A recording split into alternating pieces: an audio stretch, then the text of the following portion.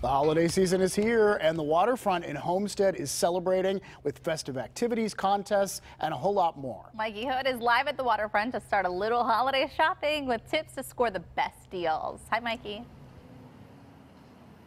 Heather, David, all month long we've been talking about ways to save for the holidays. Today is no different. I'm live at the waterfront and I have Kate Benz with me to give us some tips on how to save big, Kate. Oh, I'm all about it. So, you know, like this time of the year, I'm stalking all my favorite retailers, going online, seeing what type of sales they're going to have. And one tip for you sign up for their weekly regular emails because you will get like firsthand knowledge of when they're going to have 50% off sale, 60% off sale.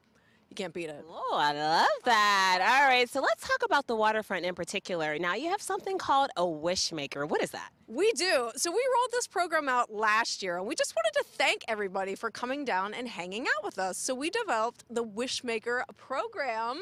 So between now and Christmas, every week, we're going to be granting one wish that you are going to make by filling out one of those cards and sticking it in Santa's mailbox. Okay, so now what types of wishes can I ask for? Like, can I ask for like a new six pack? Yes, absolutely. We would be happy to give you a new six pack. you can ask for anything you want up to a value of 1,000. dollars mm -hmm. The only caveat is it has to be something that you can get from a retailer here at the waterfront.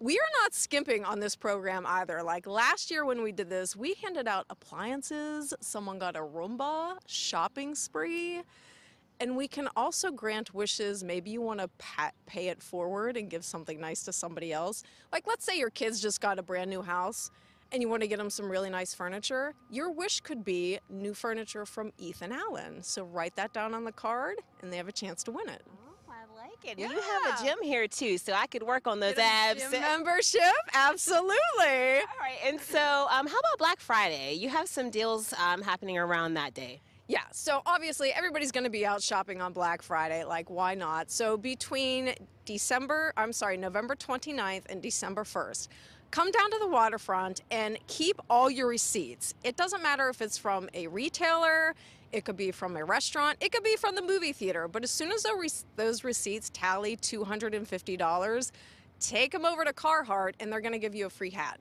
Oh, I love that. I could get to $250 really Easy. quick. In like five minutes. I'll take two two minutes. Yeah, but so not only not only can you shop here, but just the aesthetics of everything. I mean, you don't even have to shop. You can just come here and look at the Christmas tree and take a walk along the trail. Absolutely. Listen, we love you even if you're coming down here not to shop. I mean, town center looks absolutely beautiful right now. It's totally decked out with the tree. We've got the lights.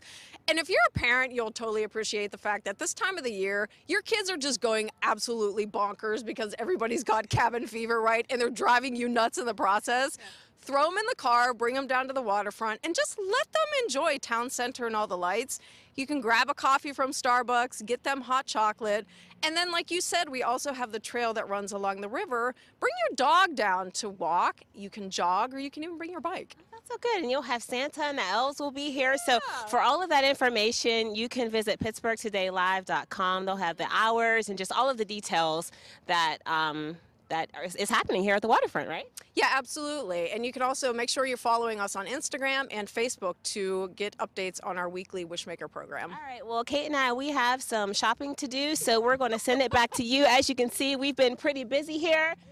And, uh, I, saw the bags. We have more to do, so I, I knew it. Thanks, Mikey. I saw the bag sitting down there, and I was like, Mikey has been shopping already. I don't blame yeah. her. No. I want to get at it.